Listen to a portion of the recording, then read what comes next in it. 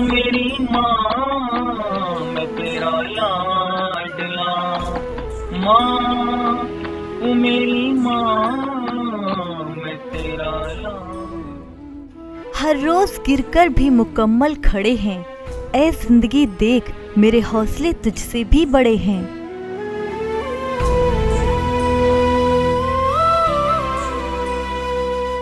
ये अल्फाज हमारे लिए मायने रखते हो या नहीं? लेकिन रायबरेली के उन दिव्यांगजनों की हकीकत बन चुके हैं, जिनके परों को शिक्षक अभय श्रीवास्तव ने उड़ना सिखा दिया है।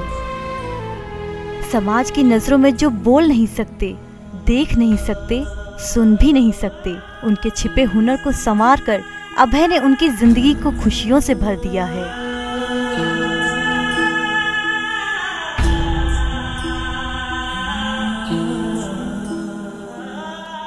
रायबरेली के रहने वाले अभय ने बेसिक शिक्षा विभाग में समेकित शिक्षा के तहत दिव्यांग बच्चों को शिक्षित करने का लक्ष्य रखा है।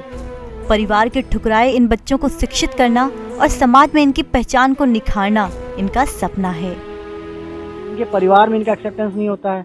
या तो ओवर सिंपैथी दिखाएँगे या फिर इनको एकदम अवॉइड कर देंगे। और सब जो अगल बगल के परिवार वाले हैं इनके सब, जो पड़ोसी होते हैं वो इनको एक्सेप्ट नहीं करते हैं कि अरे इसको भी अवॉइड करो ये बच्चे क्या कर पाएँगे? शरीर ही नहीं मस्तिष्क से भी दिव्यांगता झेल रहे बच्चों को उन्होंने लिखना तो सिखाया ही। साथ ही अंग्रेज़ी में नाम बताना और पैरों से लिखना भी सिखा दिया है। मेन हमारा टास्क था मनोबल ऊँचा करना बच्चों का और बच्चों घर वालों का।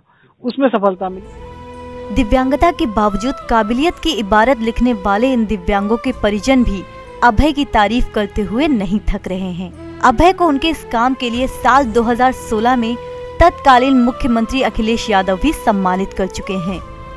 हमारे बड़े में दिक्कत होती है और कुछ भी इतना पड़ता है जैसे भी है। आज अभय समाज के लिए एक मिसाल बन गए हैं। उन्हें देखकर तो बस यही बात याद आती है। जीत की खातिर बस जुनून चाहिए जिसमें उबाल हो ऐसा खून चाहिए। ये आसमां भी आएगा ज़मीन पर बस इरादों में जीत की गूंज चाहिए। 아!